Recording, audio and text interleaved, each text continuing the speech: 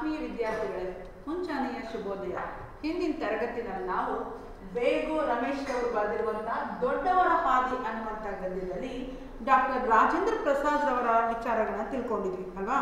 Doctor Rajendra Prasad ರವರು ಹೇಗೆ ಮಕ್ಕಳಲ್ಲಿ ಅವು ಪೇಪರನ್ನ ಪೀಸ್ ಪೀಸ್ ಮಾಡಿ ಎಸ್ತಿರೋರು ಯಾರು ಅಂತ ಕಂಡುಹಿಡಿಯೋದಕ್ಕೆ ಏನು ಮಾಡಿದ್ರು ಅವರು? ಈ ಪೇಪರ್ನಲ್ಲೇ ಯಾರು ಯಾರು ಈ ಥರ ಹರಿದು ಎಸ್ತಿರೋದು ಅವರಿಗೆ ನಾನು ಒಂದೊಂದು ಪೇಪರ್ಗೆ ಒಂದೊಂದು ಕಾಸನ್ನು ಕೊಡ್ತೀನಿ ಅಂದಾಗ ಎಲ್ಲ ಮಕ್ಕಳು ಯಾರು ಪೇಪರ್ನ ಕಟ್ ಮಾಡಿದ್ರು ಅವರೆಲ್ಲ ತಗೊಂಡು ಬಿಟ್ಟು ನಾನು ಇಷ್ಟು ಮಾಡಿದ್ದೀನಿ, ನಾನು ಇಷ್ಟು ಮಾಡಿದ್ದೀನಿ ಅನ್ನೋದನ್ನ ತೋರಿಸಿದ್ರು ಅಲ್ವಾ? ಅಂದರೆ ಮಕ್ಕಳಲ್ಲಿ ಹೇಗೆ ಅಪರಾಧಿ ಭಾವನೆ ಇಲ್ಲದಿದ್ರು ಕೂಡ ಅವ್ರನ್ನ ಯಾವ ರೀತಿಯಾಗಿ ನಾವು ಉಪಾಯದಿಂದ ಕಂಡುಹಿಡಿಯಬಹುದು ಅವ್ರ ತಪ್ಪನ್ನು ಅನ್ನೋದಕ್ಕಾಗಿ ಡಾಕ್ಟರ್ ರಾಜೇಂದ್ರ ಪ್ರಸಾದ್ ರವರು ಈ ಉಪಾಯವನ್ನು ಮಾಡಿದರು.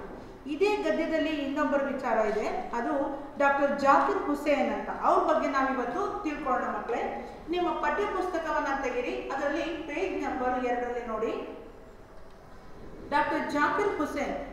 ಡಾಕ್ಟರ್ ಜಾಕಿರ್ ಹುಸೇನ್ರು ಭಾರತೀಯ ಶಿಕ್ಷಣದ ಅಭಿವೃದ್ಧಿ ಹಾಗೂ ಸುಧಾರಣೆ ಕುರಿತಂತೆ ಹಲವು ಪುಸ್ತಕಗಳನ್ನು ಬರೆದವರು. ಭಾರತಕ್ಕೆ ಸ್ವಾತಂತ್ರ್ಯ ಬಂದ ಬಳಿಕ ಬಿಹಾರದ ರಾಜ್ಯಪಾಲರಾಗಿ, ಭಾರತದ ಉಪರಾಷ್ಟ್ರಪತಿಗಳಾಗಿ, ಅನಂತರ ರಾಷ್ಟ್ರಪತಿಗಳಾಗಿ ದುಡಿದವರು. ಕೆಲ ಕಾಲ ಅಲಿಗಢ್ ಮುಸ್ಲಿಂ ವಿಶ್ವವಿದ್ಯಾಲಯ, ವಿದ್ಯಾಲಯದ ಕುಲಪತಿಗಳು ಆಗಿದ್ದರು. ಶಿಕ್ಷಣ ಅವರ ಪ್ರಮುಖ ಕಾರ್ಯಕ್ಷೇತ್ರವಾಗಿತ್ತು. ದೆಹಲಿಯ ಜಾಮಿಯಾ ಮಿಲಿಯಾ ವಿಶ್ವವಿದ್ಯಾಲಯ ಉನ್ನತ ಶಿಕ್ಷಣಕ್ಕೆ ಹೆಸರಾದ ಸಂಸ್ಥೆ.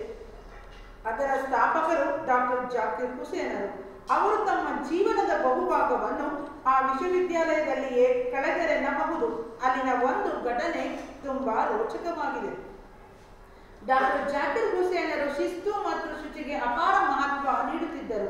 ಎಲ್ಲ ವಿದ್ಯಾರ್ಥಿಗಳು ಪ್ರತಿನಿತ್ಯ ಶಿಷ್ಯಾದ ಬಟ್ಟೆಗಳನ್ನು ಧರಿಸಿ ಕಾಲೇಜಿಗೆ ಬರಬೇಕು ಹಾಗೂ ಕಾಲಿಗೆ ಹಾಕಿದ ಬೂಟುಗಳನ್ನು ಚೆನ್ನಾಗಿ ಪಾಲಿಶ್ ಮಾಡಿರಬೇಕು ಎಂದು ಹೇಳುತ್ತಿದ್ದರು. ಆದರೆ ಎಷ್ಟೋ ವಿದ್ಯಾರ್ಥಿಗಳು ಜಾಕಿರ್ ಹುಸೇನರು ಹೇಳಿದುದನ್ನು ಸರಿಯಾಗಿ ಪಾಲಿಸುತ್ತಿರಲಿಲ್ಲ. ಇದರಿಂದ ಶಿಸ್ತಿಗೆ ಭಂಗವಾಗುವುದೆಂದು ಹುಸೇನರು ಅಭಿಪ್ರಾಯಪಟ್ಟರು. ವಿದ್ಯಾರ್ಥಿಗಳಿಗೆ ಬುದ್ಧಿ ಕಲಿಸಲು ತಾವೇ ಒಂದು ದಾರಿ ಕಂಡುಕೊಂಡರು. ನೋಡಿ ಮಕ್ಕಳೇ, ಜಾಕಿರ್ ಹುಸೇನರು ಯಾವ ಉಪಾಯವನ್ನು ಮಾಡಿದ್ರು ನೋಡೋಣ.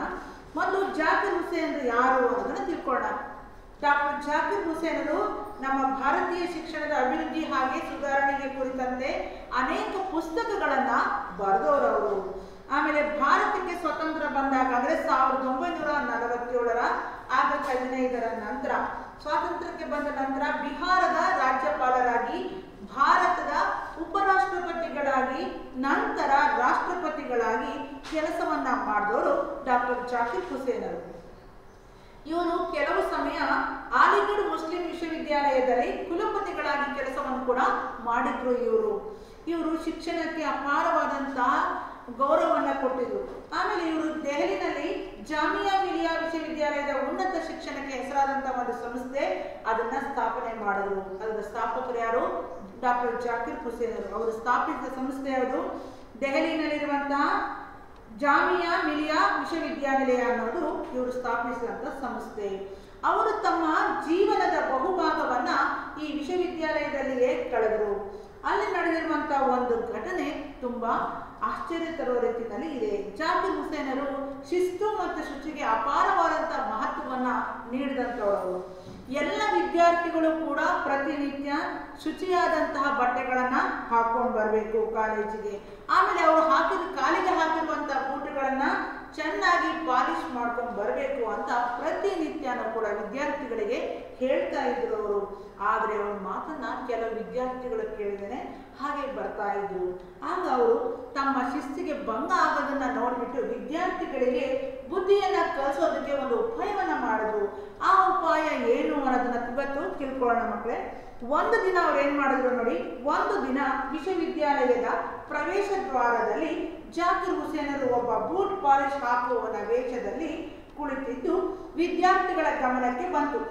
ಕುಲಪತಿಗಳು ಕೈಯಲ್ಲಿ ಪಾಲಿಶ್ ಗರ್ಭಿ ಬ್ರಷ್ ಹಿಡಿದು ಕುಳಿತಿದ್ದ ದೃಶ್ಯ ಕಂಡ ವಿದ್ಯಾರ್ಥಿಗಳು ತಮ್ಮ ವರ್ತನೆಗೆ ನಾಚಿದರು. ಒಂದಿಬ್ಬರು ಪಾಲಿಶ್ ಹಾಕಿಸಿಕೊಂಡು ಆಗಿತ್ತು ಅಂದಿನಿಂದ ವಿದ್ಯಾರ್ಥಿಗಳು ನೀಟಾಗಿ ಬಟ್ಟೆ ಹಾಕಿಕೊಂಡು ಬೂಟುಗಳಿಗೆ ಪಾಲಿಶ್ ಹಾಕಿಕೊಂಡು ಕಾಲೇಜಿಗೆ ಬರತೊಡಗಿದರು. ಇದೇ ವಿದ್ಯಾರ್ಥಿಗಳ ಬಾಳಿನಲ್ಲಿ ಶಿಸ್ತು ಬೆಳೆಸಿಕೊಳ್ಳಲು ನೆರವಾಯಿತು. ಶಿಸ್ತು ಮೈಗೂಡಿಸಿಕೊಳ್ಳಿ. ಇದು ಜಾಕಿರ್ ಹುಸೇನರ ಆದೇಶವಾಗಿತ್ತು. ನೋಡಿ, ಏನಾಯ್ತು ಒಂದಿನ? ಎಲ್ಲ ವಿದ್ಯಾರ್ಥಿಗಳು ಸರಿಯಾದ ರೀತಿಯಲ್ಲಿ ಶಿಸ್ತಿನಿಂದ ಬರ್ತಾ ಇಲ್ಲ ಅಂತ ಗೊತ್ತಾದಾಗ ಅವ್ರು ಏನು ಮಾಡಿದ್ರು ಅಂದರೆ ಒಂದು ದಿನ ಅವರ ವಿಶ್ವವಿದ್ಯಾನಿಲಯ ಯೂನಿವರ್ಸಿಟಿಯ ಪ್ರವೇಶ ದ್ವಾರದಲ್ಲಿ ಅವರು ಬೂಟ್ ಪಾಲಿಶ್ ಮಾಡುವ ವೇಷವನ್ನು ಹಾಕ್ಕೊಂಡು ಕೂತ್ಕೊಂಡ್ರಂತೆ. ಕೂತ್ಕೊಂಡಾಗ ಒಂದಿಬ್ಬರು ಹುಡುಗರು ಬಂದು ಅವ್ರ ಹತ್ರ ಬೂಟಿಗೆ ಪಾಲಿಶು ಮಾಡಿಸ್ಕೊಂಡ್ರಂತೆ. ಆದರೆ ಕೆಲವು ವಿದ್ಯಾರ್ಥಿಗಳಿಗೆ ಗೊತ್ತಾಯಿತು, ನಮ್ಮ ಕುಲಪತಿಗಳೇ ಇಲ್ಲಿ ಬೂಟ್ ಪಾಲಿಶ್ ಮಾಡುವವರ ವೇಷವನ್ನು ಹಾಕೊಂಡು ಕೂತಿರೋದು ಅಂತ. ಕೈನಲ್ಲಿ ಪಾಲಿಶ್ ಡಬ್ಬಿ ಇತ್ತು ಮತ್ತೆ ಕೈನಲ್ಲಿ ಬ್ರಷ್ ಕೂಡ ಹಿಡಿದಿದ್ರು. ಕೆಲವು ವಿದ್ಯಾರ್ಥಿಗಳು ಅವರನ್ನು ನೋಡ್ಬಿಟ್ಟು ನಾಚ್ಕೊಂಡ್ಬಿಟ್ರಂತೆ. ಅಯ್ಯೋ, ನಮ್ಮ ಕುಲಪತಿಗಳೇ, ಇವತ್ತು ಬೂಟ್ ಪಾಲಿಶ್ ಮಾಡೋ ಥರ ವೇಷವನ್ನು ಹಾಕೊಂಡು ಬಂದಿದಾರ ಅಂತ ನೋಡಿದ್ರಂತೆ. ಆವತ್ತಿನಿಂದ ವಿದ್ಯಾರ್ಥಿಗಳು ನೀಟಾಗಿ ಬಟ್ಟೆ ಹಾಕ್ಕೊಂಡು ಬೂಟ್ಗೆ ಪಾಲಿಶನ್ನು ಮಾಡಿಕೊಂಡು ಕಾಲೇಜಿಗೆ ಬರೋಕ್ಕೆ ಪ್ರಾರಂಭ ಮಾಡಿದ್ರಂತೆ. ಅಂದರೆ ಜಾಕಿರ್ ಹುಸೇನರು ಒಂದು ಉಪಾಯವನ್ನ ಮಾಡಿ ವಿದ್ಯಾರ್ಥಿಗಳ ಮನಸ್ಸನ್ನ ಯಾವ ರೀತಿಯಲ್ಲಿ ಗೆದ್ರು ಅನ್ನೋದನ್ನ ಇದರಲ್ಲಿ ತಿಳ್ಕೊಳ್ತಾ ಇದ್ದೀವಿ. ವಿದ್ಯಾರ್ಥಿಗಳ ಬಾಳಿನಲ್ಲಿ ಶಿಸ್ತನ್ನ ಬೆಳೆಸ್ಕೊಳ್ಬೇಕು ಅನ್ನೋದು ಡಾಕ್ಟರ್ ಜಾಕಿರ್ ಹುಸೇನರ ಅಭಿಪ್ರಾಯ ಆಗಿತ್ತು. ಅಂದ್ರೆ ನಮ್ಮ ಜೀವನದಲ್ಲಿ ಶಿಸ್ತನ್ನ ಮೈಗೂಡಿಸ್ಕೊಳ್ಬೇಕು ಅಂತ. ಈಗ ನೋಡಿ, ನಾವು ಪ್ರತಿದಿನ ಶಾಲೆಗೆ ಬರ್ತೀವಿ. ಶಾಲೆಗೆ ಬರ್ತೀವಿ ಅಂದ್ರೆ ಬೆಳಿಗ್ಗೆ ಎದ್ದ ನಂತರ ಮುಖ ತೊಳೆದು ಹಲ್ಲುಜ್ಜಿ ಸ್ನಾನ ಮಾಡಿ ತಿಂಡಿ ತಿಂದು ಶಾಲೆಯ ಸಮವಸ್ತ್ರವನ್ನು ಧರಿಸಿ ಶಾಲೆಗೆ ಬರಬೇಕು. ಅಂದ್ರೆ ನಮ್ಮ ಸಮವಸ್ತ್ರನೂ ಕೂಡ ಶುಭ್ರವಾಗಿರಬೇಕು. ಆಮೇಲೆ ನಾವು ಹಾಕುವಂತ ಬೂಟು ಕೂಡ ಚೆನ್ನಾಗಿ ಪಾಲಿಶ್ ಮಾಡಿರಬೇಕು. ಪ್ರತಿನಿತ್ಯನೂ ಕೂಡ ಶಾಲೆಗೆ ಬರುವಾಗ ನಾವು ಸಮವಸ್ತ್ರವನ್ನ ಧರಿಸಿ ಬರಬೇಕು. ಆಮೇಲೆ ಅವತ್ತೇ ಹೇಳಿದ ಪಾಠಗಳನ್ನ ಅಂದಂದೇ ಓದಿ ಅವರು ಕೊಟ್ಟಿರುವಂತ ಮನೆ ಕೆಲಸವನ್ನ ಅವತ್ತೇ ನಾವು ಮಾಡಬೇಕು. ಅಂತ ಶಿಸ್ತನ್ನು ನಮ್ಮ ಜೀವನದಲ್ಲಿ ರೂಢಿಸ್ಕೊಳ್ಬೇಕು. ಶಿಸ್ತನ್ನು ನಾವು ಮೈಗೂಡಿಸ್ಕೊಂಡ್ರೆ ಉತ್ತಮ ವಿದ್ಯಾರ್ಥಿಗಳಾಗಿ ಮುಂದೆ ಉತ್ತಮ ಸಾಧನೆಯನ್ನ ಮಾಡೋದಕ್ಕೆ ಸಾಧ್ಯ ಆಗುತ್ತೆ ಅನ್ನೋದನ್ನ ಈ ಪಾಠದಿಂದ ನಾವು ಕಲ್ತ್ಕೋಬಹುದು ಅಂದ್ರೆ ಡಾಕ್ಟರ್ ರಾಜೇಂದ್ರ ಪ್ರಸಾದ್ ಅವರು ನೋಡಿ ವಿದ್ಯಾರ್ಥಿಗಳಿಗೆ ಕರೆದುಬಿಟ್ಟು ಯಾವುದೇ ರೀತಿಯಾದಂಥ ಶಿಕ್ಷಣ ಕೊಡಲಿಲ್ಲ. ನೀವು ಯಾಕೆ ಈ ಪೇಪರ್ಗಳನ್ನೆಲ್ಲ ಈ ತರ ಪೀಸ್ ಪೀಸ್ ಮಾಡಿ ಎಸ್ತಿದಿರಿ ಅಂತ ಕೇಳಿಲ್ಲ. ಹರಿದಿದ್ರ ಪುಸ್ತಕಗಳನ್ನ ಅಂತ. ಆದ್ರೆ ಅವರೇ ಹೇಳಿದ್ರು, ಪುಸ್ತಕಗಳು ಅಂದ್ರೆ ಜ್ಞಾನ ಭಂಡಾರ, ನಮಗೆ ತಿಳುವಳಿಕೆಯನ್ನ ಕೊಡುವಂತ ಆಕರಗಳು, ಅಂತಹ ಪುಸ್ತಕದ ಪುಟಗಳನ್ನ ಹರಿದು ಹಾಕಿದ್ರಲ್ಲ, ಇದು ಒಳ್ಳೆ ಅಭ್ಯಾಸ ಅಲ್ಲ ಅಂತ ಹೇಳಿದ್ರು.